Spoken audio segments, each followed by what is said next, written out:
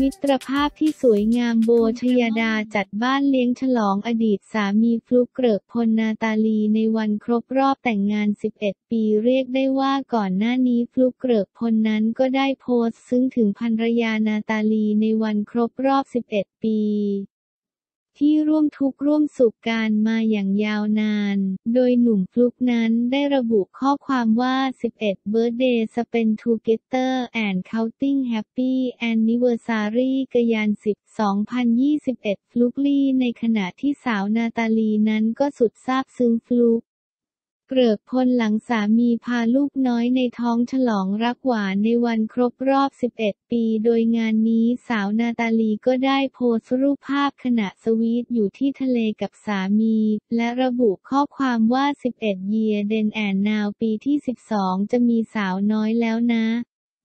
Happy Anniversary 11 Year 011010 011021 และล่าสุดต้องบอกว่าช่างเป็นมิตรภาพที่สวยงาม เมื่อสาวโบชยดาได้จัดบ้านเลี้ยงฉลองอดีตสามีฟลุกเกริกพลนาตาลีในวันครบรอบแต่งงาน 11 ปีและย้อนหลังวันเกิด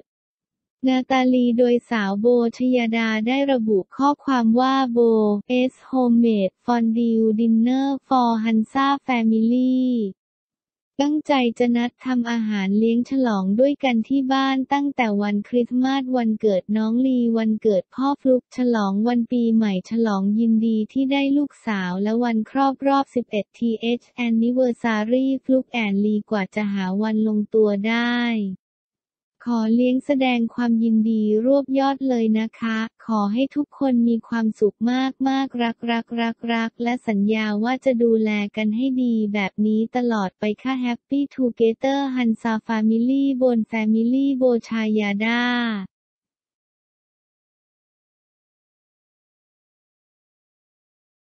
น้องมะลิร้องไห้โหกอดแม่โบพร้อมถามหนูบินขึ้นไปบนฟ้าทำไมหนูไม่เจอพ่อ จากกรณีทางด้านโบแวนด้าได้ออกโพสต์คลิปในช่องยูทูบ MALI24OF FICIAL พร้อมข้อความคลิปนี้ขอเป็นกำลังใจให้กับคุณแม่ คุณพ่อเลี้ยงเดี่ยวทุกท่านนะคะ ความรักความเข้าใจความห่วงใยเป็นสิ่งที่สำคัญที่สุดในครอบครัว โบเชื่อว่าความรักและความเข้าใจ จะเป็นสิ่งที่เติมเต็มให้กันและกัน โบขอเป็นกำลังใจให้กับคุณแม่คุณพ่อเลี้ยงเดี่ยวทุกท่าน เข้มแข็งอดทนนะคะ สู้ไปด้วยกันจากในคลิปน้องมะลิร่ำให้กอดแม่โบ พร้อมบอกว่ารักแม่มาก หากหนูไม่มีแม่แล้วหนูจะอยู่กับใคร หนูจะดั้งใจเรียน ดูแลแม่เป็นอย่างดีก่อนจะบอกว่าหนูอยากให้พ่อมานอนกับหนูกับแม่ อยากให้พ่อมากอดหนูทุกวัน ซึ่งทางด้านแม่โบก็บอกว่าไม่เป็นไรนะเดี๋ยวถ้าโควิดหายแม่จะพาหนูบินไปเที่ยวหนูอยากไปที่ไหน ด้านน้องมะลิ กลับตอบมาว่าหนูอยากบินไปหาพ่อหนูขึ้นไปหาพ่อ แต่ทำไมหนูไม่เห็นพ่อเลย ก่อนที่ทางด้านแม่โบจะปลอบว่าพ่ออยู่ในใจเราเสมออีกทั้งน้องมะลิได้บอกอีกว่าหนูอยากเห็นพ่ออยากเจอพ่อ ให้พ่อกลับมาดูแลหนูเหมือนเดิมทำไมพ่อต้องเสียหนูรักพ่อหนูจะไม่ทำให้พ่อผิดหวังก่อนที่แม่โบจะบอกว่าพ่อทำดีที่สุดแล้วพ่อไม่ไหวแม่ไม่อยากให้พ่อทรมานแม่เลยให้พ่อได้นอนหลับแบบสบายๆด้านน้องมะลิ ก็บอกว่าหนูอยากเกิดใหม่ให้เจอพ่อปอแม่โบเราอยู่ด้วยกันทางด้านแม่โบก็บอกว่าถ้าหนูเกิดใหม่หนูก็อาจจะไปเกิดเป็นลูกใครไม่รู้ที่ไม่ใช่ลูกแม่โบกับพ่อปอนะ หนูเลือกเมย์ด้วยนะลูก หนูเกิดมาแล้วถึงแม้พ่อจะไม่อยู่แต่พ่อรักหนูมาก อยากให้หนูมีความสุขก่อนจะพูดคำสุดบีบหัวใจออกมาว่า วันของหนูหนูไม่มีพ่อแม่นี่ไงแม่อยู่ในตัวพ่อพ่อแค่คุยกับเราไม่ได้ แต่หนูมีพ่อนะพ่อรักหนูมาก พ่อไม่ทรมาน พ่อไม่เจ็บพ่อแค่ไปอยู่ในที่สบาย พ่อมองหนูเสมอ ถ้าพ่อเห็นหนูยิ้มเต้นพ่อก็จะมีความสุขวันนี้ หนูไม่ได้มองฟ้าแล้วหนูก็ไม่เห็นพ่อด้วยทางด้านแม่โบบอกว่าไม่เป็นไรพ่ออยู่กับเราทุกวัน ทุกนาทีพ่อไม่ได้ทิ้งเรา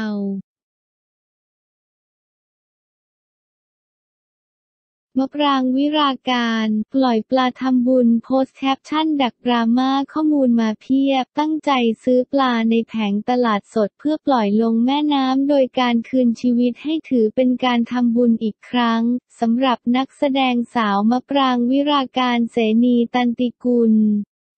แต่เนื่องด้วยเพื่อนพ้องในวงการบันเทิงเจอกระแสดราม่าการปล่อยปลาที่ไม่เหมาะสมกับแหล่งน้ำอยู่บ่อยๆ เจ้าตัวเลยตัดสินใจหาข้อมูลมาเผยแผ่ให้แฟนๆ ได้รับรู้โดยมาปรางวิราการ